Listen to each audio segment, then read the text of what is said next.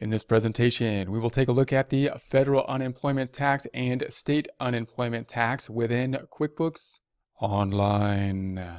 For more accounting information and accounting courses, visit our website at accountinginstruction.info. Here we are in our test file. You can follow along in your own business file and or take a look at the free test file that Intuit provides, QuickBooks provides by searching within the browser QuickBooks Online Test Drive.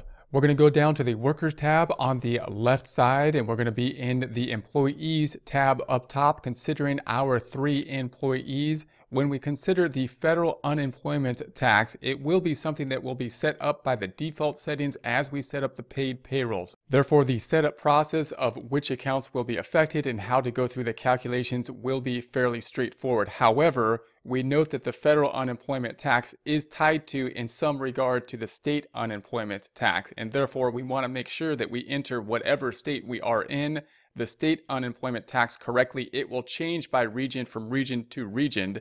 Once we have that information, the focus that we have, the federal unemployment tax, then once we have a state settled, will typically be the same for the entire country, all the United States. So we need the state information because that's part of the law that affects the federal tax. But as long as we are in a region that uh, complies with the state tax most areas in the country, then the federal unemployment tax will be straightforward and then standardized. The rules for the federal unemployment tax will be the same for our employees, and we don't have the same kind of issue with regard to the earnings that we saw with other types of taxes where we had the bonus earnings for the Medicare or the Social Security, which has the cap. However, there is still a cap with the federal unemployment tax. It just happens to be a very low cap. And therefore, unlike the Social Security cap, it's one where just about everybody will hit it. And therefore, the federal unemployment tax for that reason and for the reason that it's an employer only tax and therefore employees don't see it. We don't see it on our W-2. It's a, it's a tax that most people don't understand very well. It's also a bit confusing simply because it's tied to, at least from a legislation purpose, to the state tax in some ways. Once we have the payroll set up, it's fairly straightforward to enter the data for a new employee for the FUTA tax because the FUTA tax will in essence be applied and standardized for all employees, and it will in essence be the employee having a flat tax rate for the employer tax up to a cap, which will be applied to all employees. So it's going to be standardized in terms of the data we need to enter for new employees. That's not the confusing thing about the federal unemployment tax. Really, the confusing thing is just knowing what the system will do, even though the rules are standardized. To consider that, Let's go over to a paycheck by going to our accounting on the left side. We're then going to go into our checking account. If you have your payroll out of some other account, then you can go into your payroll account. We're going to view the check register or the register.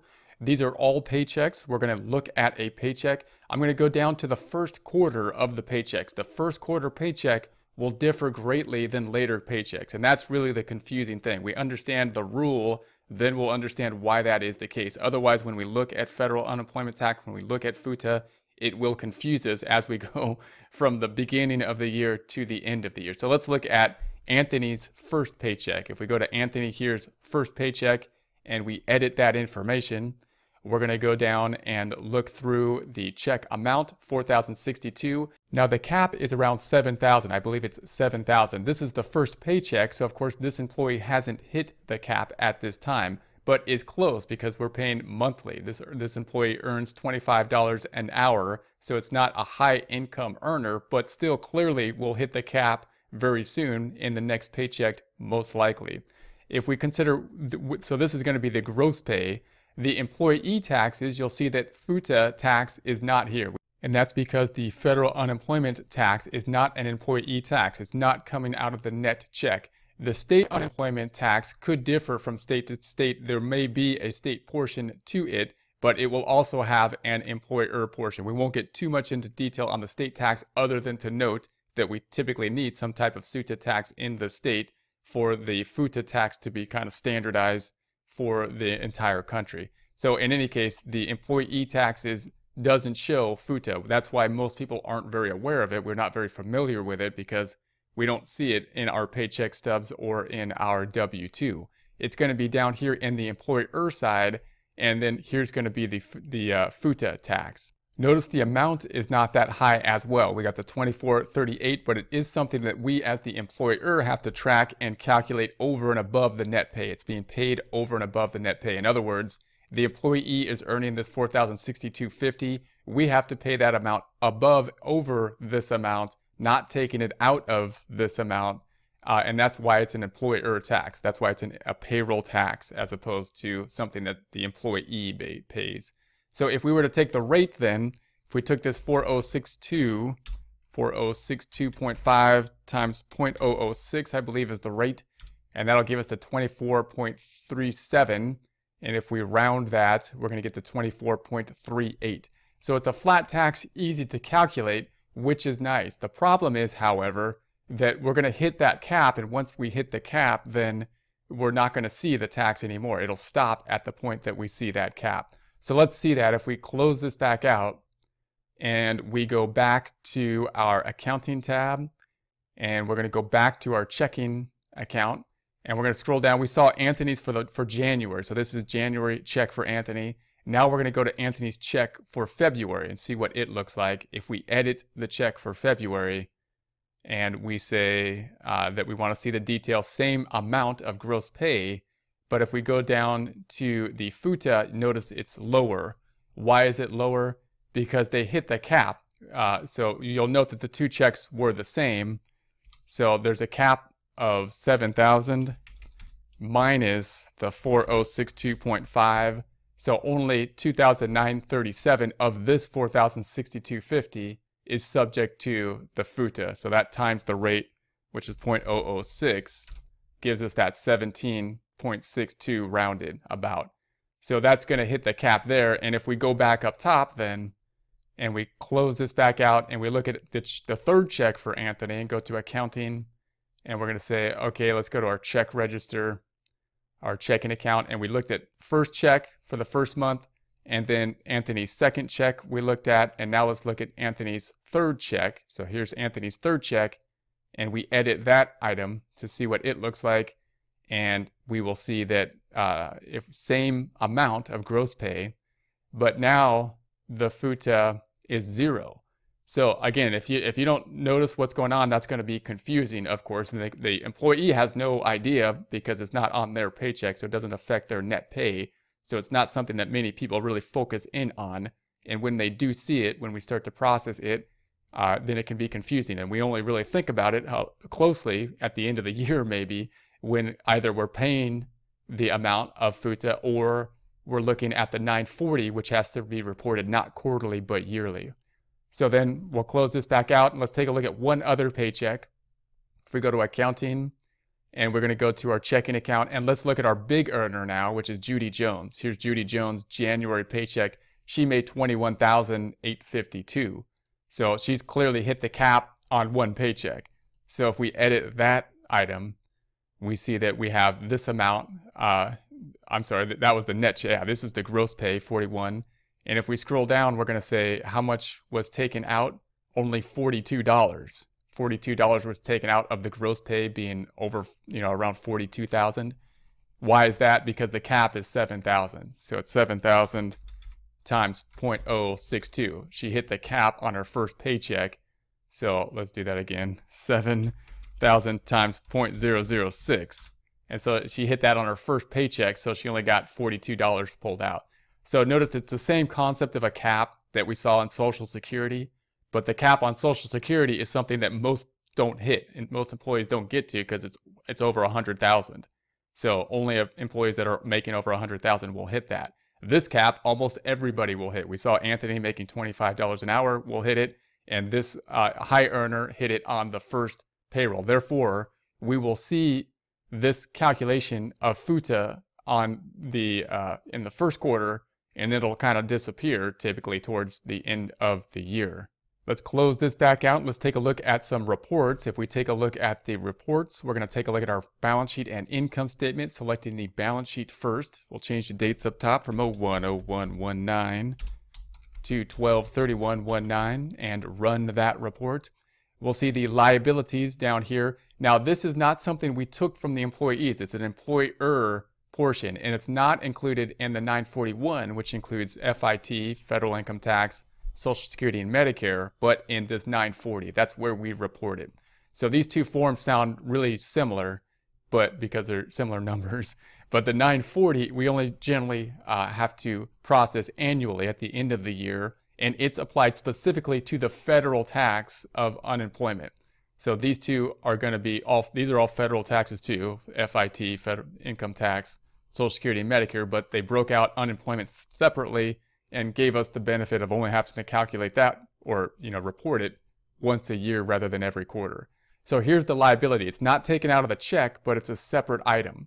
So let's take a look at the income statement, the other side. We're going to duplicate this tab up top by right-clicking it, duplicating it, pulling the tab from the left to the right, then going down to the reports. We're going to go to the profit and loss report, change the dates up top from 010119 to 123119 and run that report. And then we'll scroll down. It's not going to be in the wages tab. As we saw before, with FIT, Social Security, and Medicare, there was FIT, all of it was in wages because it's included in the gross pay.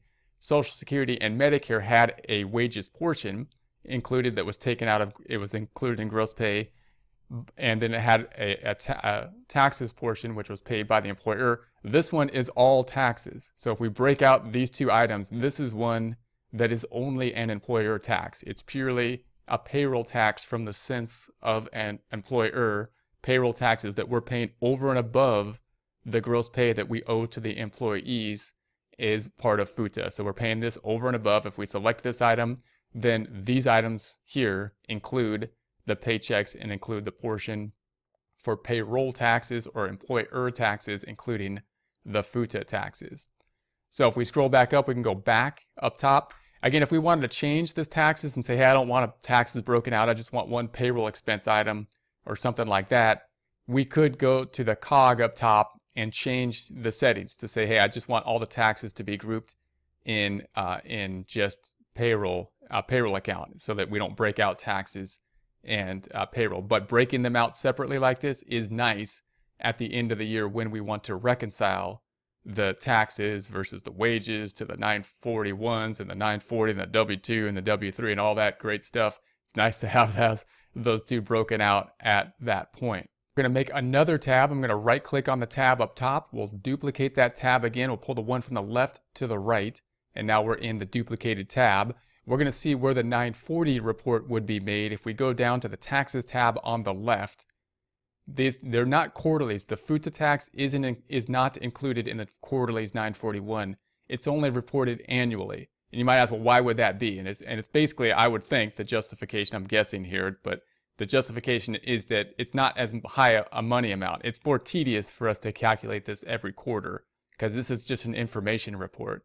So because this is a lower dollar amount, the IRS is nice enough to say, hey, we'll just we won't make you report that every quarter. We'll make you do it at the end of the year, kind of like we do with our income taxes with Form 1040. So that's here's the annual report then. We would then be looking at usually the Form 940. It's going to be on the 940 report, and we process this report. Because it's early in the year, we can't show you basically an example for 2019, but this is the area where it will be at the end of the year. That's kind of one of the restrictions of having uh, an example problem for the entire year uh, in something like QuickBooks Online. Note it won't be on the W-2 or the W-3 because those two uh, re reflect the employee taxes and this is an employer taxes. So it's, it's not going to be reflected there. It will be shown. You could see it, of course, on reports and payroll reports. We could go down to the payroll reports down here and look at some of them. I'll look at the payroll details. And if you consider the payroll detailed reports, uh, we'll run it for the first quarter, so we'll take a look at this for January through March, and we will run that report. And we'll consider where the FUTA tax is. Notice it's all the way to the right because it's a FUTA tax. If I go down, uh, the, the most current paychecks are at the bottom of this report. So if we go down, here's the January. It's going to be in the right. Here's going to be the FUTA tax. For this is one paycheck for Beth Smith's first paycheck. This is the gross pay, the OT, And then there's the FUTA tax, not being taken out of the check, not being included in the calculation from the gross check, these two items, to the net check, but being paid over and above. So here's Beth, here's Anthony uh, that has that first check in January as well. Here's the FUTA. Here's Judy Jones, the first check, a much bigger check, of course, uh, in January. And then here's the FUTA. And then we have Beth, second check. Now we're in February. FUTA's lower because she already hit the cap of 7,000. Then we have Anthony, same thing. And then we have Judy Jones, no FUTA on the second check because she already hit the cap and it's only the first quarter. And then if we go to Beth on the third check, we don't have any FUTA at all. And if we go to Anthony, no FUTA at all.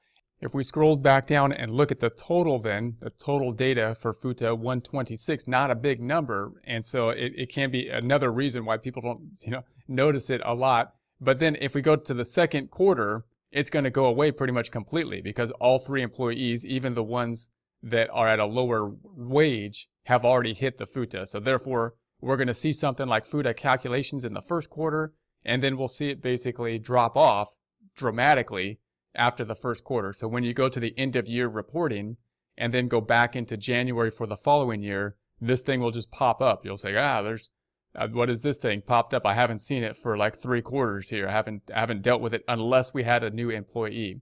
So if you have a new employee that you bring in at the end of the year, then quick, you'll see this FUTA will pop up as an employer tax. And you're like, ah, there's, where did that come from? I haven't seen it for months. Why?